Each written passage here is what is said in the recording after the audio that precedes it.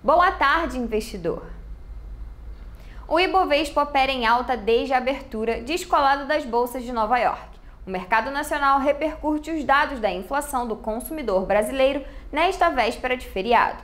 O IPCA de maio registrou alta de 0,23% ante o mês anterior. Foi o menor avanço mensal desde setembro do ano passado. O desempenho desacelerou também na taxa acumulada de 12 meses. A inflação anual recuou de 4,18% em abril para 3,9% em maio. As ações dos setores dependentes do crédito e ligados ao consumo doméstico operam sem sinal único, enquanto a Edux, Multiplan e Carrefour Brasil ficam entre as maiores altas do Ibovespa. Papéis como Melios e Localweb são destaques negativos. O Fleury é uma das maiores altas do Ibovespa.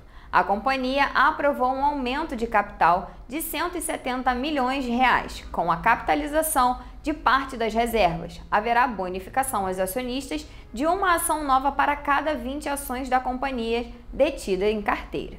As petrolíferas sustentam o viés positivos do Ibovespa, acompanhando o desempenho da commodity de referência. Os contratos futuros de petróleo avançam no exterior, apesar das preocupações com a demanda que contrabalançam as promessas de corte da oferta pela Arábia Saudita. Já as mineradoras e siderúrgicas operam mistas. A Vale acompanha a alta superior de 1% do minério de ferro em Singapura. Entretanto, preocupações com a economia chinesa também pesam, após um resultado abaixo do esperado no balanço comercial do gigante asiático. Além disso, CSN e CSN Mineração ficam entre as maiores baixas do Ibovespa, após o Santander rebaixar ambas as empresas, do equivalente à compra para a recomendação neutra. O preço-alvo da CSN Mineração caiu de R$ 5,50 para R$ 5,00. Já o da CSN caiu de R$ 20 para R$ 14,50. O IRB é o principal destaque negativo do índice. A resseguradora divulgou sua terceira emissão de debêntures, no total de 250 milhões de reais.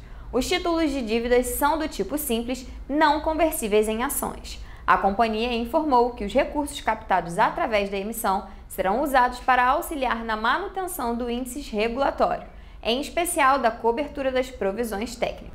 Fora do Ibovespa, a Indústrias Home opera em forte alta a empresa aprovou a distribuição de juros sobre capital próprio no montante de 18 milhões de reais, equivalente a 21% por ação. O pagamento será na próxima quarta-feira, dia 14, e vai contemplar os acionistas posicionados no dia anterior. A Rondon também se valoriza. JP Morgan elevou a companhia de recomendação neutra para o equivalente à compra. O preço-alvo é de 14 reais. Para assistir ao Minuto Trade News na íntegra em todas as edições e acompanhar conteúdo da melhor qualidade sobre investimentos, é bem simples. Se inscreva aqui no canal da Nomos. E não esqueça o mais importante: clique no sininho para ativar as notificações. Além disso, deixe o seu like aqui no vídeo.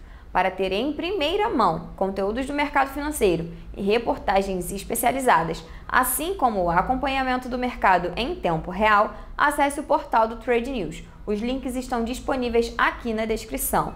Amanhã é feriado no Brasil, portanto não haverá negociação na B3 e nem o Minuto Trade News. Estaremos de volta na sexta-feira. Bons negócios, bom feriado e até a próxima!